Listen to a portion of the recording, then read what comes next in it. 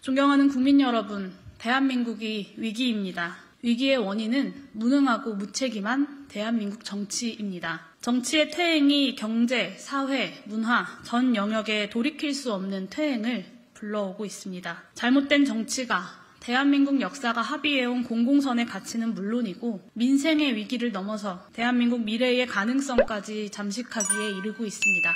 고물가, 고금리, 고유가, 삼중고의 양극화와 불평등은 더욱 심화되고 있습니다. 기후위기는 매년 겪어보지 못한 재난을 넘어서 산업과 무역, 에너지의 위기로 급행하고 있습니다. 미중 기술 패권 경쟁으로 인한 글로벌 공급망 위기 속 대응 실패는 한국 경제의 활력과 잠재 성장률을 갉아먹는 것을 넘어서 한반도의 외교 안보 위기마저 심화시키고 있습니다. 지역 소멸과 인구 위기, 합계 출산율 0.78이 예고하는 암담한 미래 앞에서 대한민국은 가까스로 오른 선진국 반열에서조차 점점 뒤처지고 있습니다. 그러나 윤석열 대통령과 집권 여당 국민의힘은 이 거대한 위기 앞에 너무나도 무능하고 무책임했습니다. 기후위기, 지경학적 위기, 민생 위기를 극복하기 위한 개혁 과제를 중심으로 국민 통합을 이뤄내겠다는 의지를 정운영 어느 한 곳에서도 살펴볼 수가 없습니다. 부정의한 정치검찰 카르텔과 공산 전체주의 따위를 주장하는 극우적 이념 세력이 대통령실과 정부 곳곳에서 권력을 차지하고 틀어앉아 정치, 언론, 방송, 학계, 시민사회, 노동 같은 사회 전 영역을 탄압하며 대한민국의 헌법과 민주주의를 유린하고 있습니다.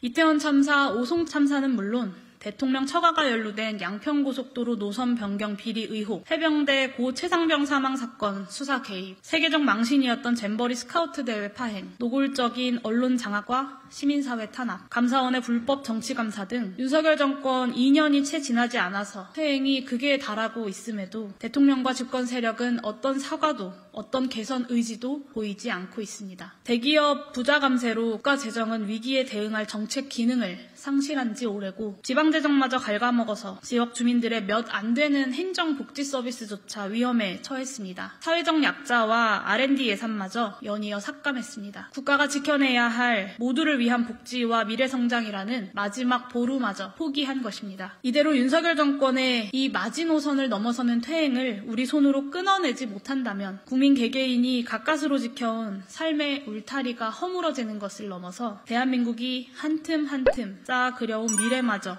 소실될 것은 자명합니다.